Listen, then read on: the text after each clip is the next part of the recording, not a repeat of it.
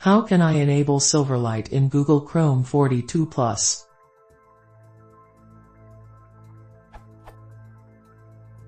I have Silverlight 5 installed on my Windows 8.1 64-bit computer. When I try to watch Amazon Instant Video I get a prompt telling me to install Silverlight for better quality. I also can't get Silverlight tests to run. There's nothing wrong with my installation. I just have to use Internet Explorer for Silverlight.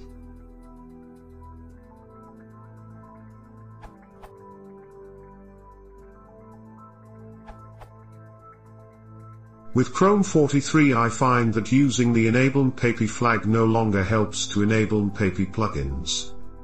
While the flag remains in the Chrome column slash slash settings for version 43, and despite Google saying that from Chrome version 45, you'll need to use an alternate web browser to load content that requires an NPAPI plugin 1, it seems the move has already taken effect.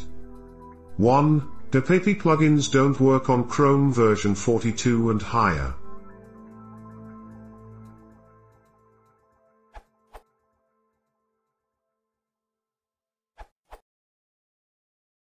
In September 2013, Google announced its decision to move away from support for NPAPI, the Netscape plugin application programming interface.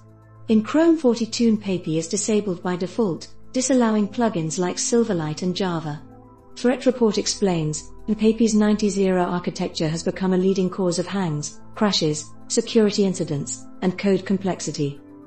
There are other APIs that companies like Microsoft and Oracle can use to modernize their web plugins and one can expect them to be updated to support these alternative options, but for now, as per this article from Microsoft Microsoft Silverlight may not work in recent versions of Google Chrome, you'll need to do the following.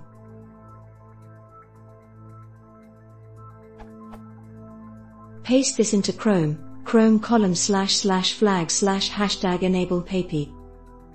Select enable. When using the site, Netflix, Amazon Instant Video, etc. You need to right click the content and click run this plugin. Optional, laugh at Chrome for underestimating superuser.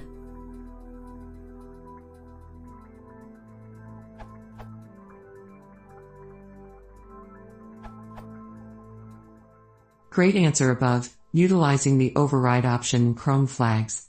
However, this will only work until September 2015. See Chromium blog they write as follows. In September 2015 we will remove the override and NPAPI support will be permanently removed from Chrome.